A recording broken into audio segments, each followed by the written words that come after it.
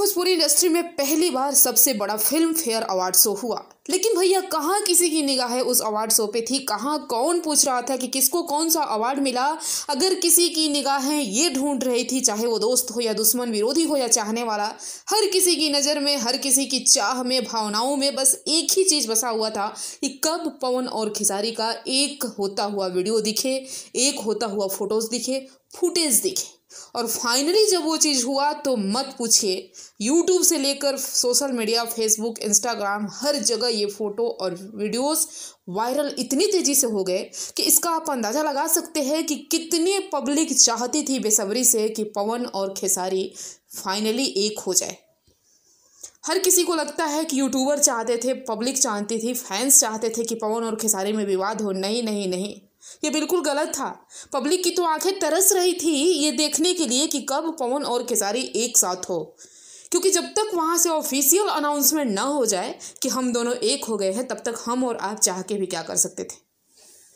चलिए, जो भी हुआ, बहुत ही अच्छा हुआ। कल का दिन भोजपुरी इंडस्ट्री के ऐतिहासिक पन्नों में गोल्डन डे में लिखा जाएगा। ये तो बात तय है और जिसने भी इस अवार्ड शो को संयोजक था, जिसने भी इस अवार्ड शो का आयोजन करवाया और साथ में रवि किशन जी मतलब हर्टली थैंक्स दिल से एकदम दुआ निकल रही है उनके लिए कि आप लोगों ने इतना बड़ा काम कर दिया ना कि सारा फ्रस्ट्रेशन सारी निगेटिविटी भोजपुरी इंडस्ट्री से पल भर में यूँ ही ख़त्म हो गई।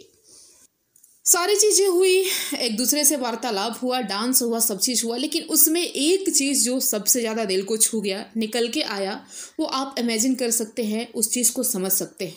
लास्ट में पवन सिंह ने ये कहा कि हमारे बीच चाहे कितने भी झगड़े हो जाए, कितने भी वार्तालाप हो जाए, कितने भी टेंशन हो जाए प्रोफेशनली बट उस बीच में हम फैमिली को, समाज के बीच में न लाए। फैमिली को टारगेट न करें। सौ बात की एक बात भाइयों में झगड़ा हो जाए वार्तालाप हो जाए बहस हो जाए बट एक चीज़ का रिक्वेस्ट है कि फैमिली मैटर को समाज में ना हो बस तो बस खत्म। हमेशा हम एक ही होके दिखाएँगे आपको और ऐसा कुछ नहीं होने वाला। बहुत बड़ा